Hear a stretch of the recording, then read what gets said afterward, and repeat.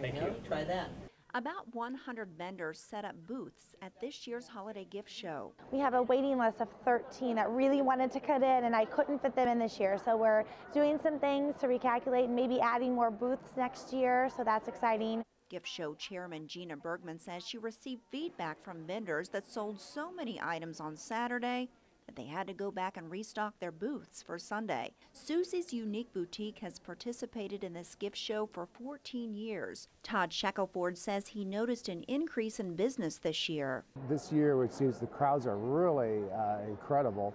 And they're not only here looking, they're buying as well. Everyone, of course, wants to come to these shows because you're buying locally. I think a lot of people are also looking to buy something unique for gift giving as well. He says the gift show provides a special venue for the business and its customers. It's just a really good way to meet your customers, to discuss with your customers what they want, and, and to talk about your product with them. It's a great interaction with them. Proceeds from this year's show benefit nonprofit organizations throughout Quincy. The Quincy Service League also provides scholarships for traditional and non traditional college students.